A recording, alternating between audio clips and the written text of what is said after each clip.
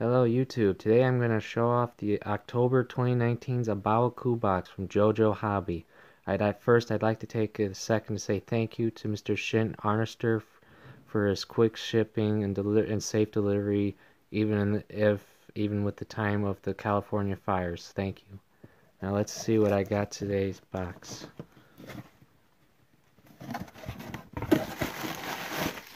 Bubbles. The first item I think is a weapon set.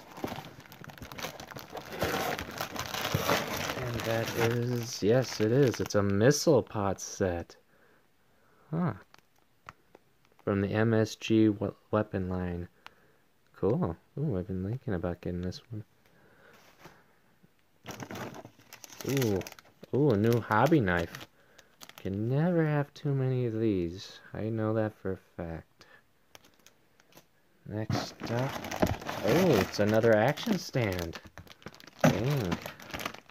I'm hoping I get a good model then. This must be a good sign. Ooh, it's an action stand, I believe. Action base 5. Yep, action base 5. Alright, let's see what's in the box. Receipt.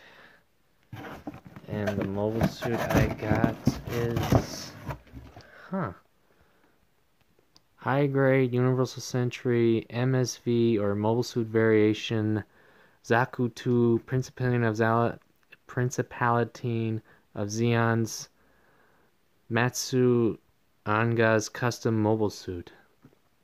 Huh. I'm not certain how old this unit is, but I've never gotten this variant before.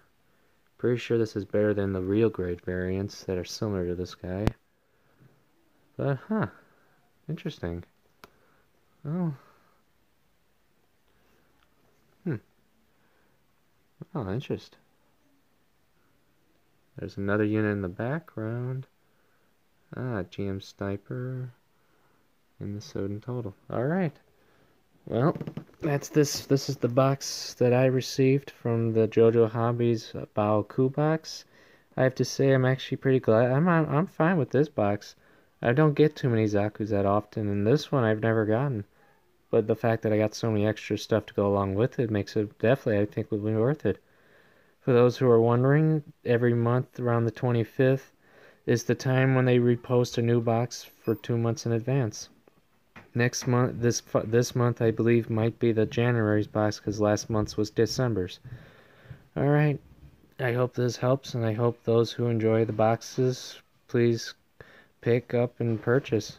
These are quite fun in my opinion. All right. Have a good day.